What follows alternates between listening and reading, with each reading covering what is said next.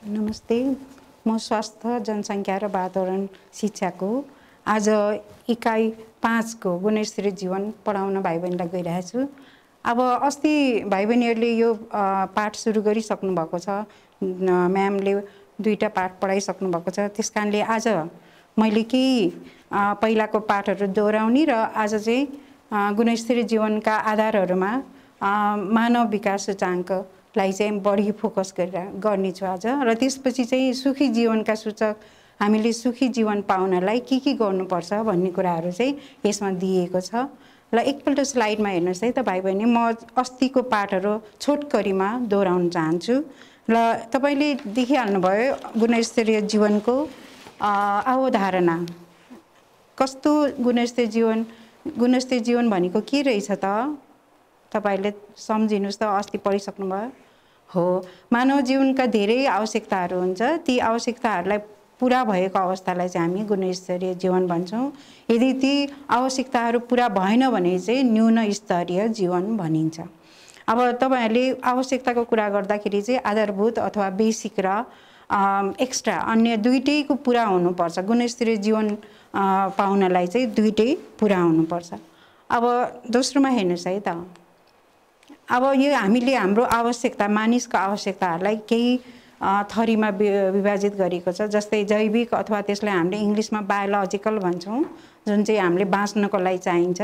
भाइ बहिनीहरूले देखिहाल्नुभयो खानादेखि लिएर पानी हावा निन्द्रा सुत्ने आराम ती सबै चाहिँ हाम्रो शरीरले चाहेको आवश्यकताहरू हुन्। र यो भयो भने चाहिँ हाम्रो जैविक आवश्यकता पुरा भएको ठान्छौँ र यो गुणस्तरीय जीवनको लागि नभई नहुने कुराहरूमा पर्दछ। अब दोस्रोमा भौतिक आवश्यकताहरू हेर्नुहोस् लुगा हामीले जुन हाम्रो वरिपरि चाहिने कुरालाई हामी भौतिक भन्छौँ अनि लुगादेखि लिएर घर मोटर अहिले त नयाँ जुनीमा मोटर पनि चाहिने मोबाइल चाहिने सबै सरसफाइ चाहिने यी सबै चाहिँ भौतिक आवश्यकतामा पर्छ जुन चाहिँ हामीलाई आरामको लागि चाहिन्छ। अब दोस्रोमा हेर्नुहोस् भावात्मक र मानसिक आवश्यकताहरू जस्तै हामी चाहिँ यदि मन अशान्ति भयो भने गुणस्तरीय जीवन कहिले पनि पाउन सक्दैनौँ। त्यस कारणले हाम्रो मन पनि एकदम शान्ति खुसी हुन् हुनुपर्छ। अब त्यो कहिले हुन्छ भन्दाखेरि जब हामीले माया पाउँछौँ प्रेम पाउँछौँ आदर सम्मान पाउँछौँ त्यस बेला चाहिँ अथवा हामी आफ्नो आत्मसम्मान राख्न सक्छौँ त्यस्तो बेलामा पनि हामी गुणस्तरीय जीवन प्राप्त गर्न सक्छौँ। यो हाम्रो मानिसहरूको आवश्यकताहरूको कुरा गर्दैछु मैले। यो अस्तिको पाठमा पनि भाइ बहिनीले पढ पढ्नुभयो होला। मैले यो दोहोऱ्याएको मात्रै हो। अब सामाजिक र सांस्कृतिक देख्नुभयो हामी समाजमा मानिसहरूसँग बस्दाखेरि ग्रुपमा सँगै काम गर्ने कार्यहरू चाहिँ सामाजिक सांस्कृतिकमा पर्छ। त्यसमा तपाईँहरू देखिहाल्नु हामी कसरी रहन्छौँ के खान्छौँ कसरी हिँड्छौँ के के मनाउँछौँ के अरे चाडबाडहरू स्वास्थ्यको लागि के के गर्छौँ बजारमा गएर के के किन्छौँ त्यो सबै चाहिँ हाम्रो गुणस्तरीय जीवनमा इन्फ्लुएन्स हुन्छ। हाम्रो के भन्छ त्यसलाई रिफ्लेक्ट हुन्छ। हाम्रो जीवनमा हामीले के कसरी बस्छौँ कोसँग बोल्छौँ कसरी हिँड्छौँ त्यो के के खान्छौँ त्यो सबै हाम्रो जीवनमा रिफ्लेक्ट हुन्छ। अब आध्यात्मिक आवश्यकता यो चाहिँ अहिले नयाँ आवश्यकतामा गनिएको छ। किनभने हाम्रो जिन्दगी एकदम कम्पिटिटिभ भन्छ नि होइन? प्रतिस्था स्पर्धापूर्ण छ। त्यसले गर्दाखेरि जेमा पनि हामी राम्रो भइराख्नु पर्ने हुन्छ। त्यस कारणले आध्यात्मिक आवश्यकता पनि परिपूर्ति हुनु एकदम आवश्यक छ। त्यस कारणले अब हामीले आफूलाई मन शान्ति पार्नलाई आफूलाई खुसी पार्नलाई के के गर्न सकिन्छ? त्यो कुराहरू चाहिँ आध्यात्मिकमा आउँछ। हामीले धुर्मुस र सुन्तलीले गर्नुभएको कार्य हेर्नुहोस् कति राम्रो छ। हामीले आफ्नो फुर्सदको बेलामा बिरामी भेट्न जाने आफूले गर्न सक्ने कामहरू गर्ने आफ्नो स्तरबाट ध्यान गर्ने आफ्नो मन परेको देउतालाई सम्झिने यी सबै चाहिँ आध्यात्मिक आवश्यकतामा पर्दछ। अब भाइ बहिनीहरूलाई यो अस्तिको पाठ मैले दोहोऱ्याएको अब यता हेर्नुहोस् त बोर्डतिर। र आजको मैले आजको पाठ सुरु गर्नुभन्दा पहिला यो केही त अस्तिकै दोहोऱ्याउन लागिरहेको छु।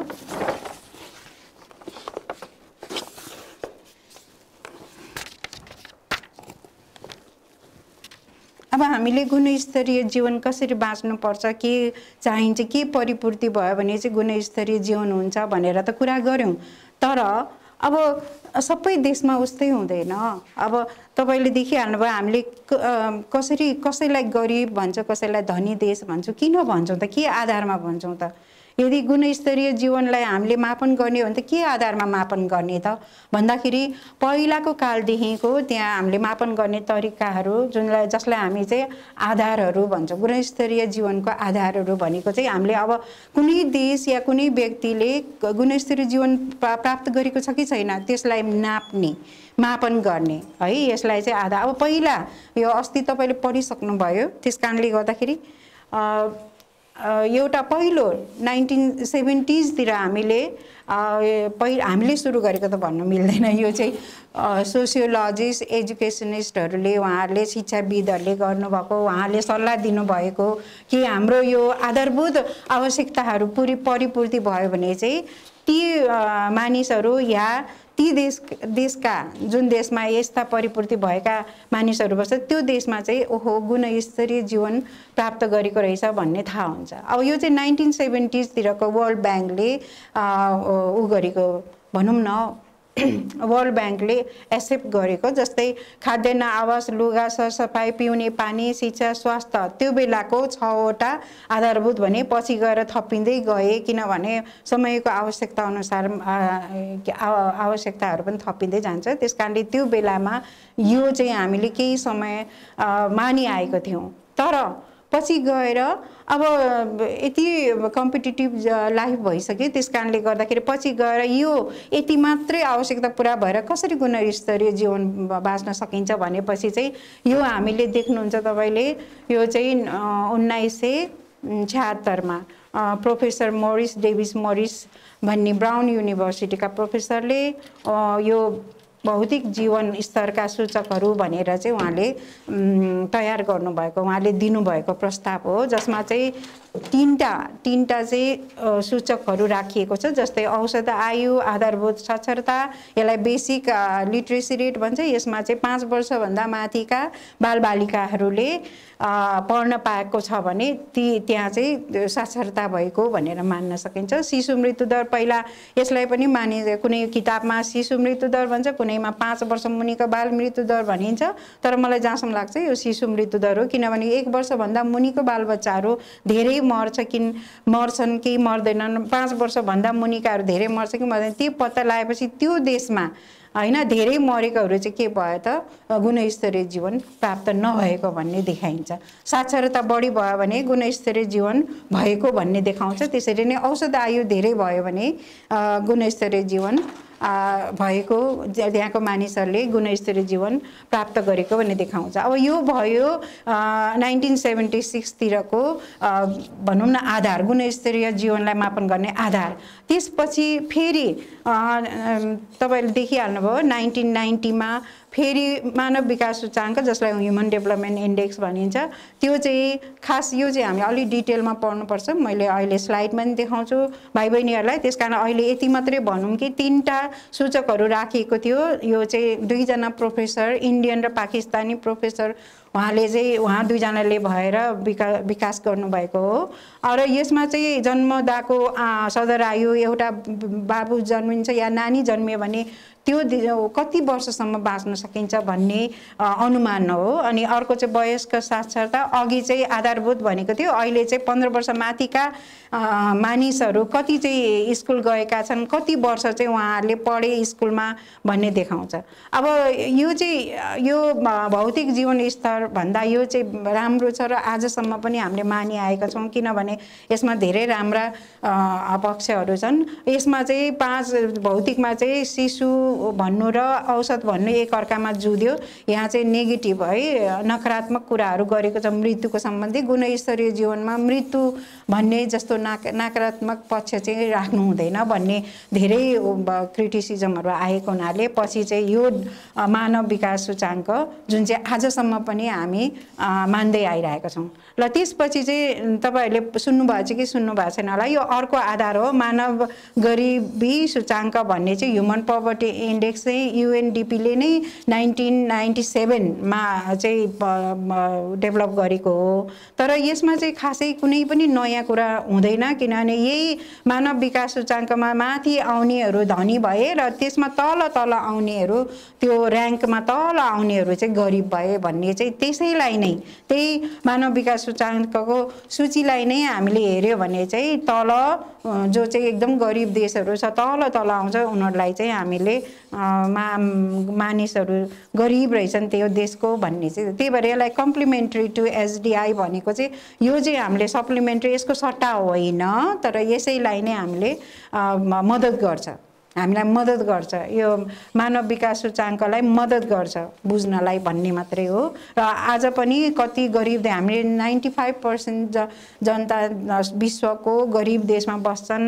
पाँच प्रतिशत मात्रै घर धनी देशमा बस्छ उनीहरू नब्बे पन्चानब्बे प्रतिशतलाई कसरी हामीले चाहिँ व्यवस्था गर्ने भनेर चाहिँ यो मानव गरिबी सूचाङ्क को प्रतिपादन भएको। अब अर्को नयाँ नयाँ पनि केही थाहा पाउनु पऱ्यो भाइ बहिनीहरू जस्तै पाँच नम्बर सुखी ग्रह सूचाङ्क भन्ने चाहिँ ह्याप्पी प्लानेट इन्डेक्स जुन चाहिँ दुई हजार छमा युएनहरूले नै गरेको जस्तै यसमा स्वास्थ्य वातावरण अहिले एकदम वातावरण प्रदूषित भइरहेछ धेरै प्रकारको प्रदूषण देखिरहेछ मानिसको स्वास्थ्यमा। त्यस कारणले गर्दा कुनै देशमा बा त्यहाँको वातावरण कतिको स्वास्थ्य छ त्यहाँ दिगो विकासको कार्यक्रमहरू के के भइरहेछ अनि ग्रिन हाउस ग्यासेस भन्छ हामीले त्यो ग्यासले चाहिँ पल्युसन धेरै गर्ने हुनाले ती ग्यासहरू कम उत्पादन गर्ने अथवा त्यसलाई कम गर्ने के के कार्यहरू गरिरहेछ भन्ने कुराहरू हेर्छन्। अनि यो हेर्दाखेरि चाहिँ अब अहिले देखिएको यो वर्ष देखिएको कोस्टारिका भियतनाम कोलम्बो देशहरू चाहिँ फर्स्ट नम्बरमा आउँछ यसमा।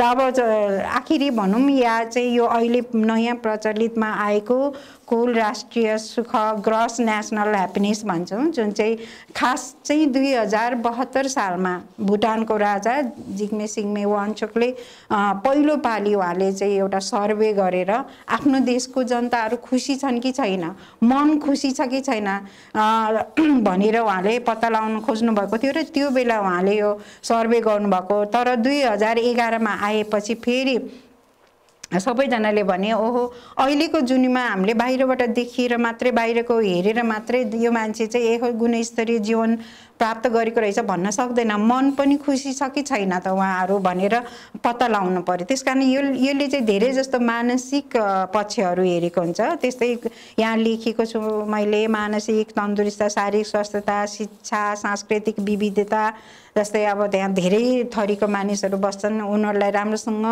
मान मर्यादासँग बसेको छ कि छैन होइन? सरकार कस्तो छ त्यहाँको सामाजिक सजगता समाजप्रति मानिसहरूको कतिमा सजगता भएर वातावरण सन्तुलन छ कि छैन? यी सबै जीवन स्तर कस्तो छ भन्ने कुराहरू हेरेर कुनै देशलाई चाहिँ माथिल्लो श्रेणीमा राख्छ भने त्यसमा चाहिँ कुल राष्ट्रिय सुख जस्तै हामीले डेनमार्क होल्यान्ड पोल्यान्ड स्क्यान्डिनेभियन कन्ट्रीहरू चाहिँ नम्बर पहिलो नम्बरमा आउँछ यसमा। ल अब आजको हाम्रो मुख्य पाठ चाहिँ यो हो भाइ बहिनीहरू मानव विकास सूचाङ्क। अब एकपल्ट स्लाइडमा हेर्नुहोस् न है मैले केही ल्याएको छु तपाईँहरूको लागि। अब यो ह्युमन डेभलपमेन्ट इन्डेक्स जुन चाहिँ हामीले मानव विकास सूचाङ्क भनेर भन्यौँ आज त्यो चाहिँ देखिहाल्नुभयो दुईजना पाकिस्तानी र इन्डियन। उहाँहरू चाहिँ इकोनोमिस्टहरू हुन्। पछि उहाँले यल युनिभर्सिटीमा काम गर्नुभयो। त्यहाँबाट नै उहाँले उहाँहरूले चाहिँ यो ह्युमन डेभलपमेन्ट इन्डेक्स जुन चाहिँ आजसम्म आजसम्म एकदम प्रचलित छ र उहाँहरूको नाम चाहिँ एकदम संसारभरि फैलिएको छ। अब यो भनेको के हो त? हेर्नुहोस् है त यहाँ तिनवटा कुरा यसले चाहिँ तिनवटा सूचक भन्छ। त्यस त्यसमा चाहिँ एउटा चाहिँ स्वास्थ्य हेर्छ। स्वास्थ्य हेर्दाखेरि चाहिँ हामीले कुनै त्यो देशका मानिसहरू कति बाँच्छन् त? त्यो चाहिँ हामीले जन्मिँदाखेरि नै हेर्नुपर्ने हुन्छ। यो बाबु हो छोरा हो भने कति बाँच्छन् त? अनि छोरी हो भने कति बाँच्छन् त भनेर हामीले चाहिँ अनुमान गर्छौँ। अब त्यो त्यो धेरै आधारहरू छन् जस्तै त्यो देशमा स्वास्थ्य राम्रो छ कि छैन शिक्षा राम्रो छ कि छैन सरसफाइ राम्रो छ कि छैन होइन धेरै कुराहरू पर्छ। नोकरीको व्यवस्था छ कि छैन ती सबै कुराहरू चाहिँ यो मान्छेको सरदर आयु भन्छ नि कतिसम्म बाँच्छ त्यो कुरामा कुरामा। गएर पोखिन्छ। त्यस कारणले गर्दाखेरि अब दोस्रो डाइमेन्सन अथवा यसले लिएको आयाम चाहिँ शिक्षा हो। शिक्षा हेर्ने त्यसमा पनि यसले एडल्टले भनेको चाहिँ के भन्छ? वयस्क साक्षरता भन्छ। एडल्टलाई पन्ध्र वर्ष माथिदेखि पैँसठी वर्षभित्रको मानिसहरू कति कतिजना कति प्रतिशतले चाहिँ शिक्षित छ भन्ने यो यो हेर्दाखेरि चाहिँ भाइ बहिनीहरू धेरै गाह्रो हुन्छ मान्छे पाउन गाह्रो हुन्छ। किनभने गरिब देशहरूमा त देखिहाल्नु भयो पाँच क्लासदेखि नै छोडिसकेको हुन्छ स्कुल। त्यस कारणले जुन देशमा यस्तो प्रकारको वयस्क साक्षरता बढी पाउँछ त्यो देशमा चाहिँ मानिसहरू एकदम गुणस्तरीय जीवन बिताएको भन्ने चाहिँ प्रमाणित हुन्छ। अब अर्को पायो जुन इन्कम अथवा पर क्यापिटा इन्कम भन्छ यो पैसाको सम्बन्धी रोजगारीको सम्बन्धी जुन चाहिँ भौतिक हामीले देखिहाल्यो भौतिक जीवन स्तरका सूचक सूचकाङ्कहरूमा चाहिँ यो पर क्यापिटा इन्कम अथवा यो प्रति व्यक्ति आय थियो नि त्यो चाहिँ थिएन। जुन चाहिँ एकदम महत्त्वपूर्ण। हामीले पैसा छैन भने हामीले केही पनि पाउन सक्दैनौँ। त्यस कारणले गर्दाखेरि पैसा भनेको चाहिँ एकदम इम्पोर्टेन्ट हो। त्यो त्यो कुरा चाहिँ यो मानव विकास सूचाङ्कले लिएको छ। त्यसै कारणले पनि सायद आजसम्म चाहिँ एकदम प्रचलित हुन सक्यो होला। ल अब हामीले एचडिआईको कुरा गर्दाखेरि मानव सूचाङ्कको कुरा गर्दाखेरि धेरै कुराहरू आउँछ भाइ बहिनीहरू यसलाई हामीले शून्यदेखि एकसम्मको स्केलमा राखेका छौँ। जुन देशहरू चाहिँ धनी छन् तिनीहरू चाहिँ एकको वरिपरि हुन्छ। जुन देशहरू गरिब छन् उनीहरू चाहिँ पाँच या शून्यतिर जान्छ। र त्यसले दुई हजार दस मैले त्यहाँ लेखेको छु हेर्नुहोस्। दुई हजार दस अब नाइन्टिन नाइन्टीमा यो प्रचलित भएको मानव विकास सूचाङ्क अहिलेसम्म कसरी चाहिँ रहिरह्यो? बिचमा केही भएन भन्दाखेरि दुई हजार दसमा चाहिँ भयो। दुई हजार दसदेखि इनइक्वालिटी एडजस्टेड एसडिआई भनेको चाहिँ भनौँ न कुनै देशमा आय मात्रै धेरै भएर भएन नि त। त्यहाँ महिलाहरूलाई कस्तो व्यवहार गरेको छ? तेस्रो लिङ्गीहरूलाई कस्तो व्यवहार गरेको छ? त्यहाँ धनी र गरिबको कस कस्तो प्रकारको भेदभावहरू छ? ती सबै कुराहरूलाई राम्रोसँग एडजस्ट गरेको छ भने त्यो देशलाई चाहिँ हामी धनी र गुणस्तरीय जीवनयापन गरेको भन्न सकिन्छ त्यहाँका मानिसहरूले। जस्तै म सानो उदाहरण दिन्छु पोहोर पोहोरको सालमा चाहिँ कटार संसारको सबैभन्दा धेरै पैसा कमाउने एक वर्षमा एक लाख ब्या छ्यालिस हजार युएस डलर थिए। यो वर्ष अलिक कम भएको छ। यो यो वर्ष लग्जमबर्ग फर्स्ट भएको छ। अब तपाईँ हेर्नुहोस् न कटार यहाँ के अरे धनी देशको लिस्टमा पर्दैन। अब जस्तै एसडिआईमा धनी अथवा गुणस्तरीय जीवनकोमा पर्दैन किनभने त्यहाँ सायद महिला महिलाहरूमा ऊ छ होला डिस्क्रिमिनेसन छ होला भन्ने जस्तै भन्ने लागिरहेको छ। अब हेर्नुहोस् है तपाईँले स्लाइडमा हेर्नुभयो हामीले एसडिआईलाई शून्यदेखिको एकमा पहिला तिन भाग लागेको थियो। अहिले चाहिँ चार भाग छ। दुई हजार दसदेखिको जुन बेला सबै भनौँ न डिस्क्रिमिनेसनहरू नभएको देशलाई चाहिँ माथि राख्ने है त भन्ने सल्लाह अनुसारको। अब आठदेखि माथिकोलाई एकदम धनी अनि एकदम गुणस्तरीय जीवन बिताएको भन्न सकिन्छ। अनि हाई ह्युमन डेभलपमेन्ट दोस्रोमा चाहिँ शून्य हेर्नुहोस् है शून्य पोइन्ट सातदेखिको शून्य पोइन्ट सात नौ नौसम्मलाई हामी दोस्रोमा राख्छौँ अनि तेस्रोमा मिडियम अथवा मध्यलाई चाहिँ हामी शून्य पोइन्ट पाँच पाँच शून्य रदेखि शून्य पोइन्ट छ नौ नौलाई चाहिँ हामी बिचमा राखेका छौँ भने सबैभन्दा कम अथवा गरिब देशहरू जहाँ जो मानिसहरू चाहिँ गुणस्तरीय जीवन प्राप्त गर्न सक्दैन ती देशहरू चाहिँ शून्य पोइन्ट पाँच पाँचदेखि मुनिका भनेर यसरी छुट्टाएको छ। यो चाहिँ दुई हजार दसदेखि छुट्टाएको त्योभन्दा पहिला चाहिँ थिएन। अब एकपल्ट बोर्डतिर हेर्नुहोस् है भाइ बहिनीहरू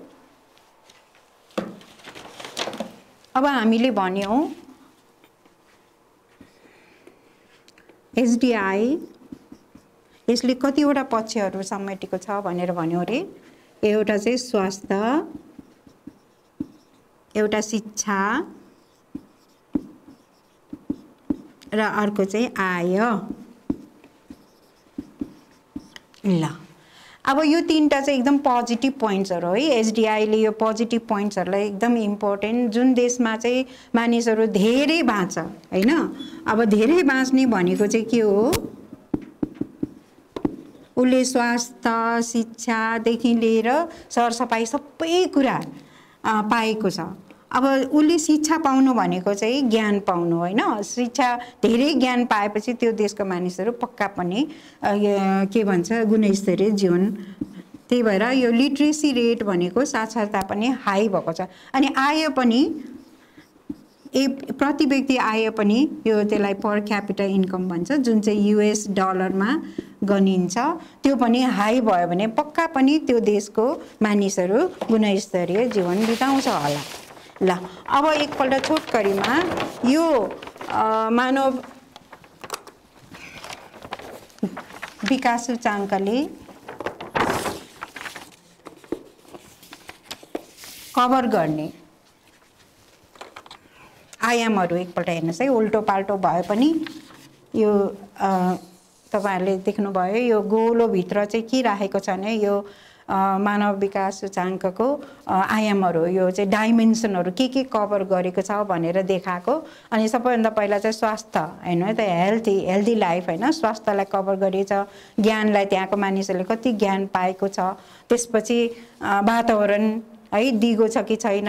अनि राजनीति र सामाजिक पनि एकदम मुख्य छ किनभने तपाईँहरूलाई थाहा छ राजनीति अनुसार हाम्रो विकास हुन्छ। राजनीति अनुसार यी सबै स्वास्थ्य शिक्षा सबै कुराहरू जस्तै के भन्छ त्यसलाई सुरक्षा होइन? यो सबै चाहिँ राजनीतिमा हुन्छ। सामाजिक के भन्छ कोअपरेसन मिलेर बस्यो भने हाम्रो सबै कुरा हुन्छ। त्यसले मात्रै हामीलाई गुणस्तरीय जीवन ल्याउँछ भन्ने कुरा चाहिँ। अब यो सबै भयो भने के भन्छ मानिसहरूको चाहिँ क्षमता बढेर जान्छ। शिक्षा स्वास्थ्य है आयले गर्दाखेरि मानिसको क्षमता बढ्दै जान्छ। त्यो भयो भने मानिसहरू विकास हुँदै जान्छ भनेर यो एसडिआईले कभर गरेको डाइमेन्सनहरू हो। तपाईँले देख्नुभयो होला। कुनै पनि देशमा यदि के अरे भेदभाव बढी हुन्छ जातदेखि लिएर क्लासदेखि लिएर भनौँ न लिङ्गदेखि लिएर भन्यो भने त्यो कहाँ त्यसमा चाहिँ सुख हुन सक्दैन। त्यही भएर सोसियल जस्टिसहरू पाएको ठाउँमा सिक्युरिटी भएको राइटहरू हामीले पाएको ठाउँमा होइन अधिकारहरू पाएको ठाउँमा अनि हाम्रो जीवन स्तर बढ्दै गएको ठाउँमा चाहिँ पक्का पनि ह्युमन डेभलपमेन्ट इन्डेक्स चाहिँ बढी हुँदै जान्छ भन्ने चाहिँ यो डायमन्ड चाहिँ डाइमेन्सनहरू चाहिँ देखाएको हो भाइ बहिनी। अब तपाईँले देखिहाल्नुभयो यो मानव विकास सूचाङ्कमा तिनवटा कुरा हामीले इन्डिकेटर्स भन्छ उसमा इङ्ग्लिसमा नेपालीमा चाहिँ सूचकहरू भन्छ। यो तिनवटालाई हेरेर हामी यो कुनै देशको मानिसहरूले जी कुनै स्तरीय जीवन प्राप्त गरेको छ कि छैन भनेर। त्यस कारणले अब चाहिँ म तपाईँहरूलाई अघि देखाइहालेँ जिरोदेखि एक शून्यदेखि एकलाई मैले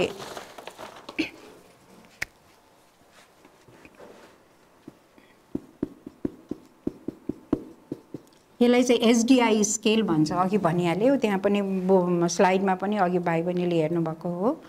अब शून्य एसडिआईलाई हामीले शून्यदेखि एक भनेर चाहिँ नापेका छौँ होइन?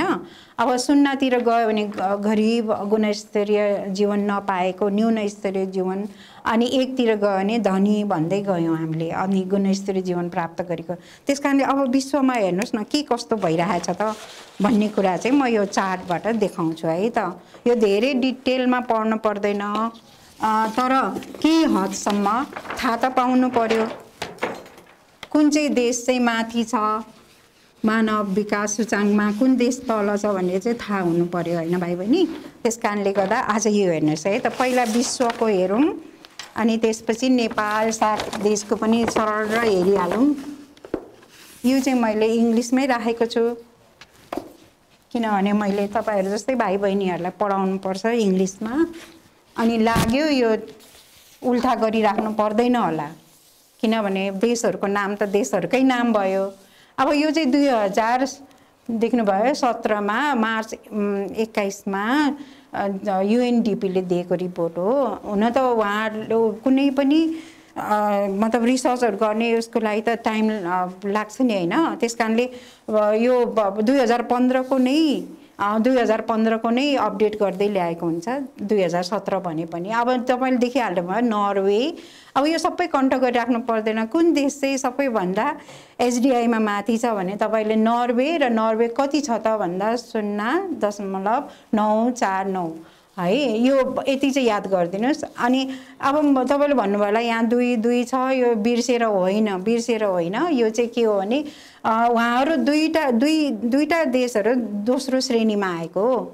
त्यस्तै गरेर डेनमार्क र सिङ्गापुर चाहिँ पाँचौँ श्रेणीमा आएको अनि यस्तो क्यानाडा र युएसए चाहिँ दसौँ श्रेणीमा हो। उहाँहरूलाई फेरि तिन अनि फेरि नौ भन्यो के अरे एघार भन्यो भने चाहिँ उहाँलाई चित्त दुख्छ। त्यसै कारणले हामीले चाहिँ दुई दुई त्यसरी नै पा पाँचमै राखिरहेको छौँ। उहाँहरूको ऱ्याङ्क हो कि यो संसारमा।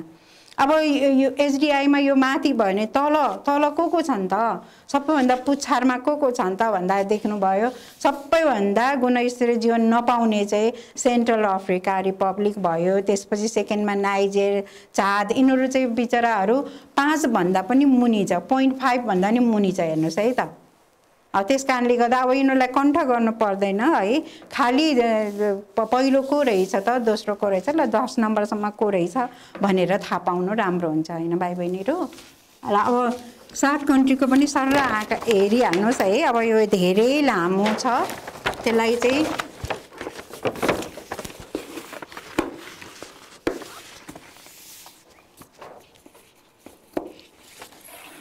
एउटा साधारण धारणाको लागि मात्रै हो। जस्तै हाम्रो साग कन्ट्री छ आठवटा देशहरू छ अहिले देख्नु भएको छ होला। आठवटा देशमा चाहिँ सबैभन्दा एसडिआईमा माथि श्रीलङ्का छ। अब मैले सबै कुरा दिएको छु हेर्नु तपाईँलाई। ए यो एसडिआई यो शिशु मृत्यु दर भयो यो चाहिँ एभरेज लाइफ एक्सपेक्टेन्सी आयु भयो यो चाहिँ साक्षरता भयो। यो चाहिँ हामीले देशभित्रको मात्रै कमाएको सम्पत्तिहरू भनौँ न त्योलाई हेरेर हामीले एकजना मान्छेले एक वर्षमा कति कमाइ गर्दछ त भन्ने हो यो चाहिँ। अब यो चाहिँ बाहिरबाट ल्याएको पनि सम्पत्ति हेर्नुहोस् है त बाहिरबाट हामीले रेमिटेन्सहरू हुन्छ कति कुराहरू एक्सपोर्ट गरेर पाएको पैसाहरू हुन्छ त्योबाट हामीले पर यो चाहिँ जिएनपी अनि के भन्छ र पाइरिटी पर्चेजिङ पावर पाइरिटी भन्छ यसलाई। त्यो भनेको चाहिँ एकजना मानिसले एक वर्षभित्र कति युएस डलर खर्च गर्न पाउँछ त सक्छ त भन्ने चाहिँ यो यसलाई चाहिँ पर्चेजिङ पावर पाइरिटी भन्छ। अनि यो चाहिँ हामीले एक वर्षमा कति कमाउँछ भने अब तपाईँले आफैले हेर्नुहोस् है हाम्रो साग कन्ट्रीमा चाहिँ को चाहिँ धेरै एसडिआई रहेछ कसको हाम्रो नेपालको अवस्था कस्तो रहेछ कति बाँच्दो रहेछ नेपालीहरू होइन? हामी एक सय चौवालिसमा छौँ। हेर्नुहोस्। अब योहरू यो कुराहरू सबै चाहिँ तपाईँले यसो बुझिराख्नु भयो भने राम्रो हुन्छ। ल अब मैले यतिसम्म भनिसकेपछि अब हामी आजको दोस्रो एकदम सर्टकटमा जाउँ ल। त्यो पनि धेरै दुःख गर्नु पर्दैन तपाईँहरूले है। अब एकपल्ट स्लाइडमा हेर्नुहोस् है। त भाइ बहिनीहरू म चाहिँ योनिर यो कुल राष्ट्रिय सुख जुन छ त्यो त्यसको पनि अब यो जुन हेर्नुहोस् है खुसी सुखी जीवनका सूचकहरू भनेर लेखेछौँ नि त हामीले। अब अहिलेको जुनीमा चाहिँ हामीलाई एकदम सबै कुरा पाएर मात्रै होइन हुँदैन। मान्छे सुखी पनि हुनुपर्छ। म भित्रैबाट सुखी हुनुपर्छ भन्ने पनि कुरा आएको छ। त्यस कारणले यी तपाईँले बोर्डमा हेर्नुभयो भने मैले सानो आकारको परिवार नियमित परि पारिवारिक आम्दानी गुणस्तरीय शिक्षा उपयुक्त विवाह र पारिवारिक योजना त्यसभित्र पनि चारवटा पोइन्ट राखिएको छ। उपयुक्त उमेरमा विवाह उपयुक्त उमेरमा प्रथम गर्भधारण उचित जन्मान्तर गर्भनिरोधको प्रयोग त्यसपछि अर्को पोइन्टमा उचित सरसफाइ र स्वास्थ्य पोषणयुक्त खाना लैङ्गिक समानता आमा बाबु र सन्ततिको जिम्मेवारी जिम्मेवारी नियमित बचत। अब योभन्दा बढी पनि हुनसक्छ। हामीले सुखी जीवन पाउनलाई अझै अरू पनि उपायहरू गर्न सक्छौँ। तर यीमध्ये अझ अरू पनि थप्नुहोस् या यसैलाई अझै बढी पोइन्ट बनाउनुहोस् जस्तै तपाईँले उपयुक्त उमेरमा विवाहलाई अर्को पोइन्ट पनि बनाउन सक्नुहुन्छ भाइ बहिनीहरू अब यो चाहिँ सानो आकारको परिवार देखिहाल्नु भयो जति थोरै नम्बर भनौँ न त्यसमा चाहिँ हामीले एकल र संयुक्त दुई चाहिँ लिएको छौँ है। त एकललाई मात्रै सानो आकार भन्नु मिल्दैन। एकलमा पनि आमा बुबा हजुरआमाहरू सबै भएर सानो परिवार पनि हुनसक्छ। उनीहरूको चाहना पनि कमै हुन्छ। अब एउटै एकल परिवारमा त्यति तपाईँले देख्नुभयो होला कतिवटा बच्चा छ होइन? एकल परिवारमा पनि धेरै बच्चा पनि हुनसक्छ। बच्चा धेरै भएपछि खान के अरे आवश्यकता पनि बढी हुन्छ। सानो भएपछि सबै आवश्यकता परिपूर्ति भएपछि गुणस्तरीय जीवन प्राप्त गर्न सकिन्छ भन्ने भनाइ हो। अब नियमित पारिवारिक आम्दानी आम्दानी त सबैलाई एकदम चाहिन्छ धेरै कार्यको लागि चाहिन्छ तपाईँलाई थाहा छँदैछ पढाइदेखि स्वास्थ्यदेखिको लिएर घुमफिर गर्नदेखि लिएर सबै कुराको लागि चाहिन्छ। जब सबैको आवश्यकता पुरा हुन्छ तब न मानिसहरू खुसी हुन्छ। आजभोलि पढाइमा मात्रै राम्रो भएर हुँदैन अरू कुरामा नि राम्रो हुनुपर्छ। नियमित आम्दानी छ भने आमा बुवाले अरू कुराहरू उनीहरूको हबीहरू अनुसार उहाँ उनीहरू बच्चाहरूलाई दिन सकिन्छ के भन्छ तालिम दिन सकिन्छ। त्यसैले गर्दाखेरि गुणस्तर जीवन प्राप्त हुन्छ। अब गुणस्तर शिक्षा तपाईँलाई थाहा छ पढ्न त सबैले पढ्छ तर राम्रो कसले पाएको छ पढ्न त्यसमा चाहिँ भर हुन्छ। जस्तै गुणस्तर जीवनको लागि त आजभोलि धेरै क्वालिटी एजुकेसन चाहियो होइन त? अब तपाईँले देख्नुभयो यहाँ बालबच्चाहरू एकदम चाइल्ड सेन्टर पढाइ पढि पढिरहेको छ। यदि गुणस्तर शिक्षा भने राम्रो तलब हुन्छ राम्रो नोकरी हुन्छ घरमा शान्ति हुन्छ देखिहाल्नुभयो। अनि नोकरी पनि ला राम्रो धेरै पैसा कमाउने नोकरीहरू पाइन्छ सम्मानजनक। त्यसले गर्दाखेरि गुणस्तरीय शिक्षा चाहिँ गुणस्तरीय जीवन ल्याउनलाई आवश्यक छ भन्ने कुरा हो। उपयुक्त उमेरमा विवाह तपाईँले देखिहाल्नु यसमा मैले चारवटा पोइन्ट राखेको छु जसमा चाहिँ विवाहदेखि लिएर प्रथम शिशु कहिले कति जन्मान्तर राख्ने कुन अब गर्भनिरोधी प्रयोग गर्ने अब उपयुक्त उमेरमा विवाह भन्दाखेरि हाम्रो तिन किसिमको क्याटेगोरीमा विभाजित छन्। एउटा चाहिँ प्रजनन क्षमताले गर्दाखेरि भनेको चाहिँ यो केटा एक्काइस र केटी अठार हो। अनि कानुनले मान्यता दिएको यो हालसाल मान्यता दिएको यो बिस र बाइस केटा र केटीको। अनि आर्थिक रूपमा होइन उमेर पुगेर मात्रै भएन विवाह गरेपछि धेरै कुराहरू आउँछ। त्यसको लागि पैसा पनि त चाहियो। त्यस कारणले गर्दाखेरि अब कमाउने उमेरमा मात्रै विवाह गऱ्यो भने गुणस्तरीय जीवन राम्रो अप्नाउन सकिन्छ भन्ने। अब यो उपयुक्त उमेरमा प्रथम गर्भधान महिलामा चाहिँ अलिकता हामीलाई लिमिटेसन हुन्छ। जस्तै बिसदेखि तिस वर्षभित्र गर्भधारण पहिलो होस् या दोस्रो होस् गर्नुभएको भए राम्रो हुन्छ। त्यसले गर्दाखेरि अब पहिलो बच्चा दोस्रो वर्ष बिहा गरेको दोस्रो वर्षमा भयो भने दम्पतिलाई पनि एकअर्कासँग बस्ने घुम्ने मौका पाउँछ बुझ्ने मौका पाउँछ अनि गुणस्तरीय जीवन प्राप्त हुन्छ। अब उचित जन्मान्तर देखिहाल्नुभयो सकेसम्म चारदेखि पाँच वर्ष गर्नुहोस् सकेसम्म। परिवारमा जति सदस्य भए पनि त्यो स्वास्थ्य चाहिँ हाम्रो महिलालाई स्वस्थ हुनुपर्छ। त्यस कारणले जन्मान्तर भएको राम्रो हुन्छ उचित जन्मान्तर। त्यो जसले गर्दाखेरि आफ्नै दाजुभाइ दिदीबहिनीले पनि एकअर्कालाई हुर्काउन मद्दत गर्छ। अब यहाँ उचित गर्भनिरोधकको प्रयोग तपाईँले देखिहाल्नुभयो। हामीले गर्भनिरोधको प्रयोग नगरिकन कहिले पनि जन्मान्तर हुन सक्दैन। या पहिलो बच्चा या दोस्रो वर्ष भन्ने हामीले त्यसलाई थाहा रोकथाम गर्न सक्दैन। त्यस कारणले महिला पुरुषको आफ्नो उपयुक्तता अनुसारको प्रयोग गर्नु। अब सरसफाइ बिना हामी स्वास्थ्य बन्दैन स्वास्थ्य सेवा बिना पनि हामी स्वास्थ्य बन्न सक्दैनौँ। त्यस कारण सरसफाइ घरको होस् आफ्नो होस् सबै सरसफाइ चाहिँ एकदम नितान्त आवश्यक छ स्वास्थ्य जीवन गुणस्तरीय जीवन प्राप्त गर्नलाई। अब त्यसको लागि हामीले भनौँ न जब स्वस्थ हुन्छ तब न तपाईँले राम्रोसँग काम गर्नु पाउनुहुन्छ तपाईँलाई सबैले माया गर्छ। त्यस कारणले गर्दा लामो समयसम्म राम्रो नोकरी गर्न सक्नुहुन्छ। त्यसै कारणले मानिसहरूले चाहिँ कोसिस के गर्नु पऱ्यो भने स्वास्थ्य रहने सरसफाइ गरेर स्वास्थ्य रहने। त्यसमाथि पोषणयुक्त खाना खानु पर्यो ताजा खाना खानु पर्यो होइन? बजारमा पाएको सबै खाने खा खानेकुराहरू उपयुक्त छ भन्न सक्दैन। हामीले चाहिँ अर्ग्यानिक आफैले उत्पादन गर्न सक्दैन भने पनि सकेसम्म कोसिस चाहिँ त्यही रहनु पर्यो कि पौष्टिक तत्त्व भएको खाना खानु पऱ्यो। किनभने त्यो हामीले डेली काम गर्नुको लागि शक्ति चाहिन्छ। शक्ति खानाबाट मात्रै आउँछ। खानाले नै हामीलाई स्वास्थ्य जीवन दिन्छ। अब लैङ्गिक समानता अर्को एउटा एकदम महत्त्वपूर्ण पक्ष हो गुणस्तरीय जीवनको लागि। तपाईँहरूले देखेर अहिले केटा केटी तेस्रो लिङ्गी भन्ने चलन छ। अब मुखले मात्रै भनेर भएन। मुखले भनेर भने समा समानता आउँछ। त्यसलाई गरेर देखायो भने लैङ्गिक समता भन्छ प्र्याक्टिकल्ली गऱ्यो भने अब छोरा र छोरी दुवैजनालाई स्कुल पठाउने घरमा पनि कामहरू छोराछोरी सबै श्रीमान श्रीमती सबैले मिलेर गऱ्यो भने तब न गुणस्तरीय जीवन प्राप्त हुनसक्छ तपाईँले देख्नुभयो कामहरूमा पनि महिलालाई पनि नछुट्याउने महिलालाई पनि औषध दिने यस्तो भयो भने चाहिँ हाम्रो महिला सशक्तिकरण पनि हुन्छ। धेरै कामहरू महिला र पुरुषले बराबर गर्न सक्छन्। मिलेर गऱ्यो भने अवश्य पनि गुणस्तरीय जीवन प्राप्त हुन्छ। अब आमा बुबा सन्तति बालबच्चा यो प्लान एकदम राम्रो गर्नुपर्छ। किनभने गुणस्तरीय जीवनको लागि मुमा बाबा र आमाले राम्रोसँग योजना बनाएन भने चाहिँ कसरी चाहिँ घर राम खुसी हुनसक्छ सुखी हुनसक्छ स्वस्थ हुनसक्छ मानिसहरू? त्यस कारणले आमा बाउले चाहिँ आफ्नो सन्तान कहिले पाउने कहिले विवाह गर्ने कहाँ बस्ने के रो नोकरी गर्ने सबै कुराको चाहिँ एकदम विचार गर्नुपर्छ। र छोराछोरीलाई सकेसम्म उनीहरू उनीहरूले बन्न चाहेको कुरा के बन्न चाहन्छ त्यो चाहिँ उनीहरूलाई प्रोत्साहन दिनुपर्छ। हामीले बाबुआमाले भनेर छोराछोरीले बन्ने होइन।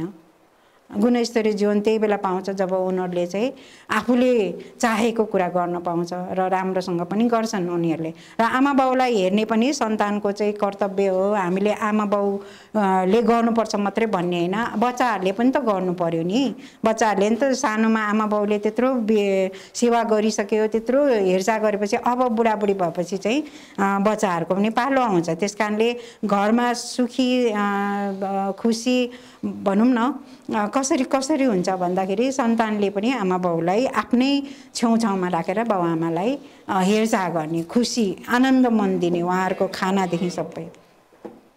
अब नियमित बचत चाहिँ एकदम मुख्य छ तपाईँहरूले देखिहाल्नुभयो। त्यो बिना त हामीले न स्कुल पढ्नु पाउँछ न खान पाउँछ न स्वास्थ्यको लागि गर्नु पक सकिन्छ। र हामीले नियमित बचत गऱ्यौँ भने चाहिँ त्यसलाई हामीले इन्भेस्ट गर्न सक्छौँ हेर्नु। बालबच्चाहरू बढ्छ छिटो बढ्छ।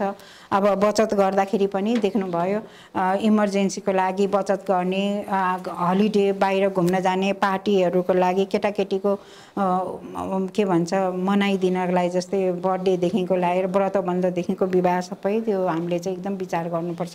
त्यस कारणले भाइ बहिनीहरूले आज हेरिहाल्नुभयो गुणस्तरीय जीवन कसरी पाउन सकिन्छ। अब तपाईँले चाहिँ आफ्नो किताबको पृष्ठ कति भन्दाखेरि पच्यासीमा हेरेर दोस्रो चाहिँ